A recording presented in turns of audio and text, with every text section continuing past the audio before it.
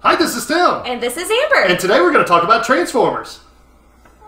Most of your incoming power is going to be 480 or 240, but many of your components will be 110. So a lot of times you'll see a 110 volt transformer in the control panel. So what a transformer does is it changes one voltage to another voltage. So in our case, we're taking our 480 volt that's coming in, and then we're going through the transformer to create the 110 volt coming out.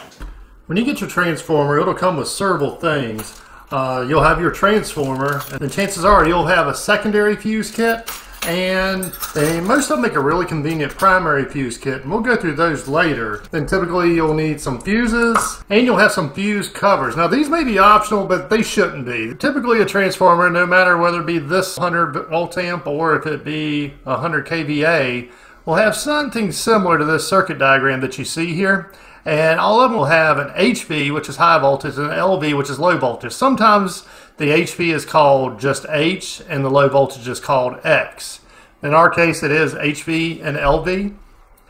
So then you'll see, you in this case, in the case of this transformer, it can transform either 240 or 480 to 120 or 240. Now you notice so you got 240 here, you got 240 here. What you got to think about is, okay, which one of the voltages you, that you're using is the high voltage and which one is the low voltage? And I wouldn't even say incoming, outgoing as much as high voltage, low voltage.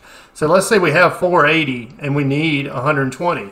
Well, here's our 480 480 is greater than 120, so 480 is going to be our high voltage, and 120 will be our low voltage. Okay, let's say we were doing 240 to 120.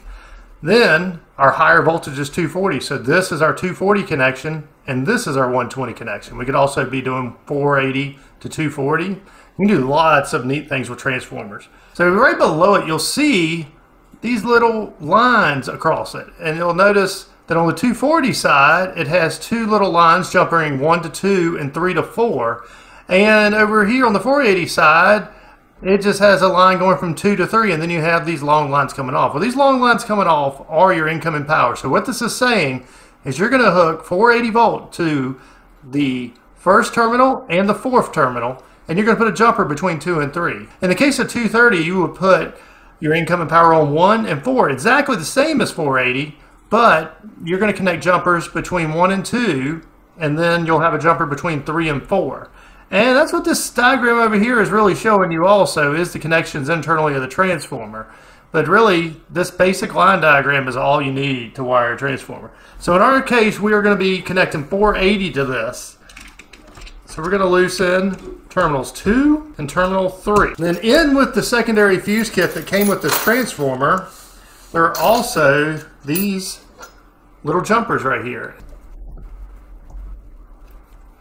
There you go. The incoming side is now set up to have 480 between terminals 1 and terminals 4. Now onto the secondary side, we want 120 coming out of this. So we see here our lines are going to be 1 and 4 and then we need jumpers between 1 and 2 and 3 and 4. So our kit has included two additional jumpers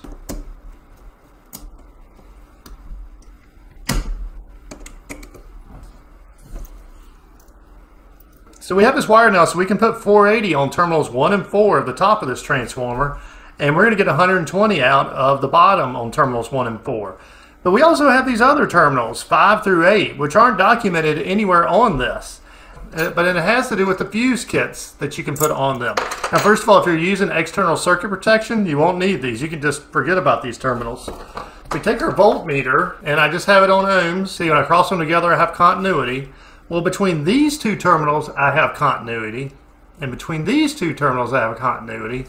And between these two terminals, I have continuity. And what that's going to allow me to do is I'm going to hook my 480 actually on these two terminals, terminal 6 and 7, which are also connected to terminals 5 and 8. Then I'm going to put my primary fuse kit in and in between here and here. So we're going to go ahead and take these screws out.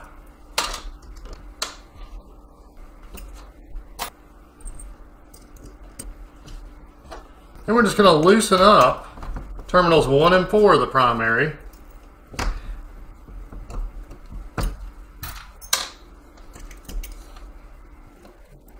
Now I can hook my power onto wires 6 and 7. And since 6 is connected to 5, when I pop my fuse into it, it's going to connect it onto 1, giving power to my transformer. Then I'll do the exact same thing on the other side, and so I'm going to connect this wire to terminal number 7, which is also connected to 8. It's going to send the power through to terminal 4. So now I have a fused primary for my transformer and a nice convenient place to lay my wires.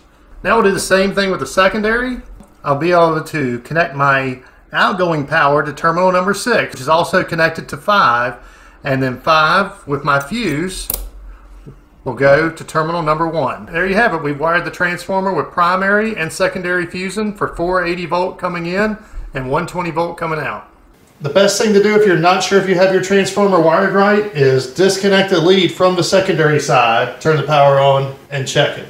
We'd like to thank our Patreon supporters who made this video possible. If you'd like to learn more about being a Patreon supporter, see the link in the description. I hope you found this video helpful. Also, I'll put a fuse recommendation chart link in the description.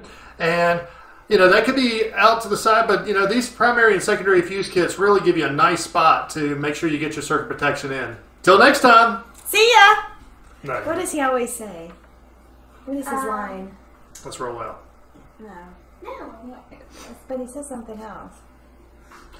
Like something about the power, the cube, or something.